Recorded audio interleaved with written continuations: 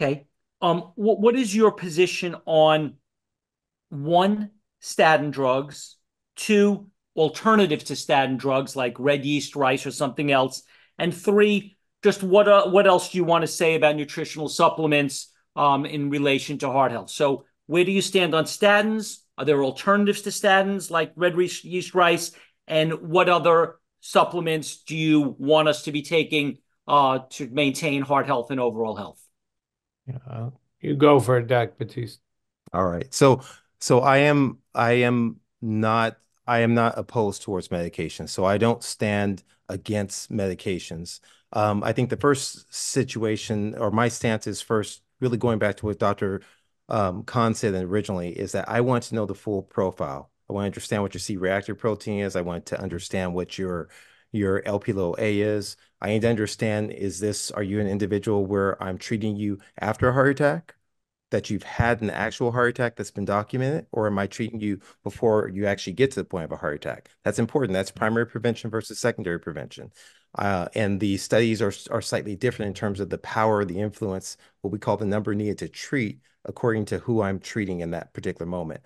I next want to know what your values, what your levels are um, of numbers that are there combined with the inflammation that's there. And if your primary prevention, I'm probably wanting to know if those numbers are intermediate or normal. I need to know what your calcium score is for sure, beyond a shadow of doubt. I need to have a sense of what your calcium score is. Once I get to all of that, I'm likely using something where I, I'm using a pharma, pharmaceutical agent like a statin or some derivative of a statin um, that's prescribed. Now, I have had patients who have found success with red rice yeast, um, but however, the dosing, I haven't yet personally, I haven't found one that is sustained and replicable that I'm able to co confidently prescribe. In terms of CoQ10, which is another supplement that perhaps I use to kind of offset some of the side effects, are, are things that I've I've used. There's a lot of there are some other agents that I've used. We've gone away from from niacin. Um, there are some others, berberine, and some others that I haven't used as much, but I've toyed around with in certain popul certain patients based upon where they're at. But my start starting point after nutrition, that's the obvious, is I then will go towards a statin. Now I've had patients who I've achieved the goal, and then I've followed up. What's their LP low A? What's their C-reactive protein? But making sure they don't have familial hypercholesterolemia. All these things are extremely important and they really dictate the tool that I use, but I leave open to myself all tools in the in the tool chest. Yeah, and uh, you know, again, we're going to agree on a lot. There was a uh, society in 2007 that formed called SHAPE, the Society of Heart Attack Prevention and Eradication. And it was very academic group. I think they still have an active website. You did not hear as much about them. But they proposed that we're treating some people with lifelong prescription statin medication who don't have atherosclerosis and may never develop atherosclerosis. And they proposed, it was just a, a theory, that if you got a carotid ultrasound and a calcium score, you might choose not to use prescription drugs in people that have no atherosclerosis and teach them about diet and exercise maybe supplements, and follow them, just like a clean colonoscopy might be followed up with another one in five to 10 years. And um, the downside to that is, you know, there may be some disease developing during the period you're not treating them, and they may come back in five years, and now their calcium score went from zero to 68. And maybe earlier treatment might have prevented it. Uh, we have no perfect way of knowing that. I saw that in 2007. It struck me, and that's sort of the practice plan.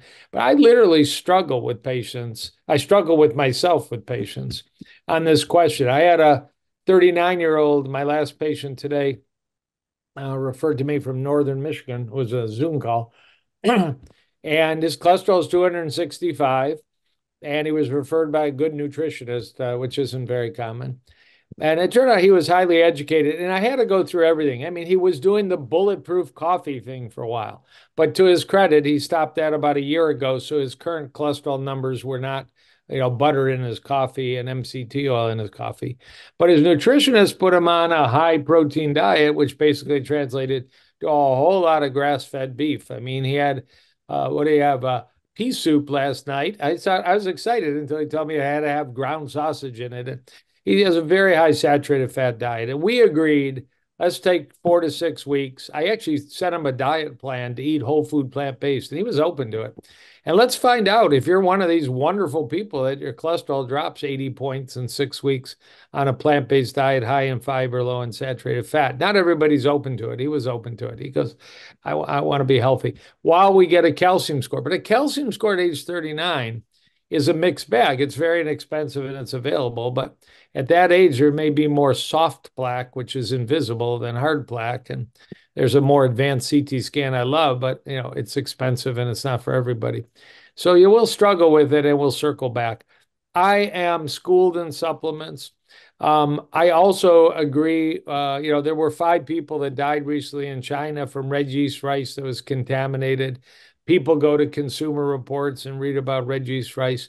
On the other hand, you go to PubMed, the National Library of Medicine, there's a lot of data that's in the peer reviewed literature. There's studies that are up to 5,000 people randomized to red yeast rice or placebo that show that it lowers cholesterol and has a clinical outcome. So uh, I think for many people, it's an option. I use statins. I live in a town, Detroit, where one of the more prominent integrative doctors wrote a book called Statin Disaster. Many of my patients have read that, and I've got to kind of redirect them at, you know, this is not a disaster. These are very highly studied books, uh, uh, drugs rather, um, after reading that book.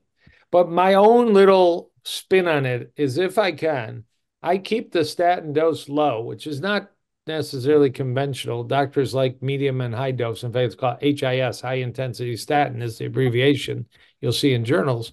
And I add in a second drug called ezetimibe. And it lets me hit these super low LDL levels that cardiologists are gaga about, and I believe in for people with advanced disease. But I don't have to use 80 milligrams of a statin because statins do have myalgia problems. Statins do raise blood sugar. Statins do raise lipoprotein A. And uh, there's a wonderful research study from Korea called the Racing Study, where this low dose statin plus ezetimibe, Zetia, uh, was proven to be actually better at reversing plaque than a medium dose statin alone. So I kind of reach for that as my preferred choice.